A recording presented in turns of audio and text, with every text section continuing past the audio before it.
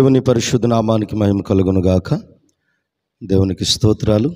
ఉదయకాల వాక్యాన్ని వీక్షిస్తున్న మీ అందరిని నా ప్రభు వాక్యములో ఉన్న శక్తి ద్వారా బలపరిచి కాపాడి తన కృపచేత నడిపించును గాక పరిశుద్ధ బైబిల్ గ్రంథంలో నుండి లేవి కాండము ఇరవై ఆరో అధ్యాయము పదో వచనాన్ని చదువుకుందాం. మీరు చాలా కాలము నిలవాయి ఉన్న పాతగిలిన ధాన్యమును తినెదరు. క్రొత్తది వచ్చినను పాతది మిగిలియుండును. నా మందిరమును మీ మధ్య ఉంచెదను. మీ యందు నా మనస్సు అసహ్యపడదు. నేను మీ మధ్య నడిచెదను. మీకు దేవుడినై ఉందును. మీరు నా ప్రజల యందురు ప్రియ దేవుని బిడ్డలారా చదువుకున్నటువంటి వాక్యంలో మనం గమనించినట్లయితే ఓ చక్కని సందేశం కనపడుతుంది. మీరు నా ప్రజలై ఉంటారు. నేను మీకు దేవుడిగా ఉంటాను. మీరు చాలా కాలము నిలవై ఉన్న పాతగిలిన ధాన్యము తింటారు. తింటారు. పాత ధాన్యాన్ని తింటారు. కొత్తది వచ్చినా కానీ పాతది నిలవ ఉంటుంది అన్నాడు. చక్కని సందేశం. మరి కొత్తది వచ్చిన పాతది నిల్వ ఉండాలంటే? దాని కారణాలు ఏంటి చాలామందికి ఈ రోజున మనం గమనించినట్లయితే అసలు క్రొత్తది రాకముందే పాతది అయిపోయి వచ్చిన ఇంకా వచ్చే నా- నెలకి లేకపోతే వచ్చే సంవత్సరానికి కూడా అడ్వాన్స్గానే డబ్బులు తెచ్చుకుని అడ్వాన్స్గానే ధనాన్ని తెచ్చుకుని బ్రతుకుతున్నటువంటి దినాలు ఈ దినాలు. అయ్యగారు చాలా కాలం క్రిందట నిల్వ ఉన్న ధనాన్ని తింటారు మరలా కొత్తది వస్తుంది పాతది మిగిలి ఉంటుంది అన్నాడు. క్రొత్తది వస్తుంది పాతది పాత దానిలాగానే ఉండాలి క్రొత్తది వస్తుంది పాతది మిగిలి అలాగే ఉంటుంది మీకు నిలవగా అని చెప్తున్నారు. మా జీవితంలో ఇది సాధ్యం కావట్లేదు ఏంటంటే మన జీవితంలో సాధ్యపరచబడాలి అంటే క్రొత్త ఆశీర్వాదం క్రొత్త దీవెన మరొక నెల జీతం మన దగ్గరికి వచ్చే ముందే పోయిన నెల జీతం పోయిన సంవత్సరంలో ఉన్న జీతం నిలవ ఉండాలి అంటే దేవుని వాక్యం చెప్తుంది. మీరు నా కట్టడలను బట్టి నడుచుకుని నా ఆజ్ఞలను అనుసరించి వాటిని అనుసరించి ఆచరించి ప్రవర్తించిన ఎడల మీకు ఏ సమయానికి ఏం కావాలో అవన్నీ మీకు అనుగ్రహించబడతాయి. హలలుయ ఆయన అంటున్నాడు మీరు నా కట్టడాలను బట్టి నడుచుకోవాలి. రెండవదిగా నా ఆజ్ఞలను ఆచరించి వాటిని అనుసరించి నడవాలి. ఆచరించటం వేరు అనుసరించటం వేరు. ఆచరించి అనుసరించాలి. ఓహో అలాగా చేస్తానండి. చేసి మేము ఇట్లా ప్రభుని నమ్ముకున్నామండి. అంటే కాదు ప్రభుని నమ్ముకుంటాం వేరు ప్రభులో జీవించటం వేరు. చూడండి చాలామంది ఈ రోజుల్లో మనం గమనించినట్లయితే యేసు ప్రభుని నమ్ముకున్నాం. నాకు ఆ రోగాన్ని తీసేసాడు ఏసైని నమ్ముకున్నాం.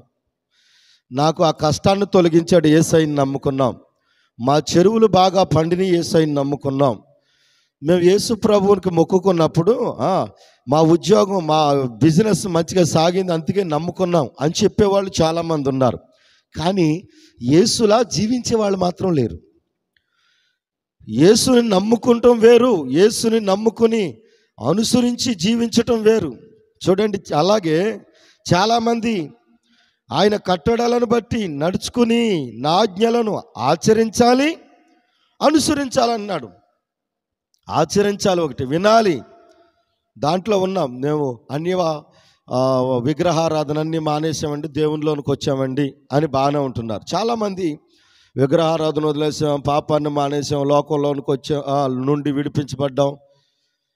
మేము బాగానే ప్రభుని నమ్ముకున్నాం అన్నారు నమ్ముకున్న తర్వాత క్రీస్తులో కూడా అన్యాచారాలు అనుసరించినట్లుగా ప్రవర్తించే వాళ్ళు చాలామంది. లేకపోలేదు.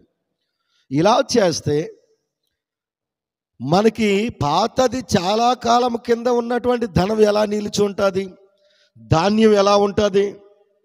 ఆచారంగా రెండు రకాలుగా రెండు మనసులతో మనం జీవిస్తే మనకు ఏమాత్రం కూడా నిలవ అనేది ఉండదండి. చాలామంది భక్తి జీవితం ఎలా ఉంటుందంటే ఈ రోజుల్లో ప్రభుని నమ్ముకుంటున్నారు.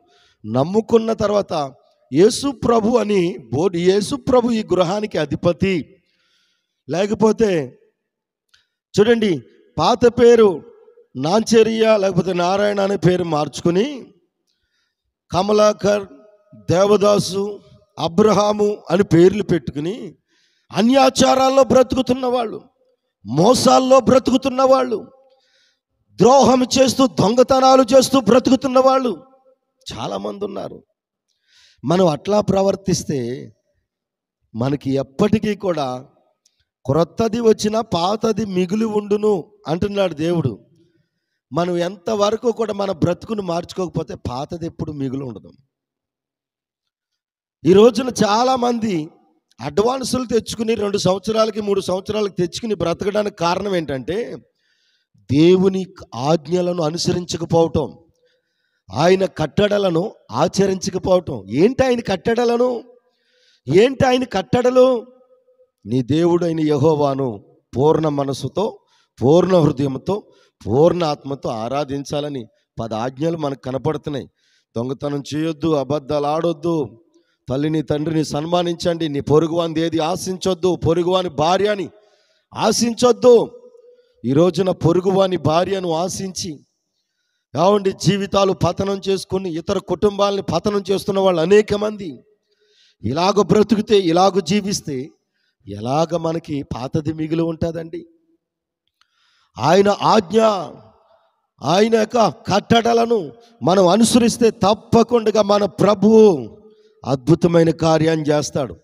చేయటమే కాదు పాతది చాలా కాలం నిలవై ఉన్న పాతగిలిన ధాన్యము మీరు తింటారు అంటమే కాదండి. ఆయన అంటాడు ఒక మాట ఇదే అధ్యాయంలో లేవీకాండం ఇరవై ఆరు. చూడండి ఆరు ఏడు వచనాల్లో ఉంటుంది.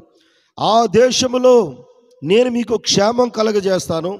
మీరు పండుకున్నప్పుడు ఎవడు మీకు భయపెట్టడు మిమ్మల్ని భయపెట్టడు. ఆ దేశంలో దుష్ట మృగాలు లేకుండా చేసేదను.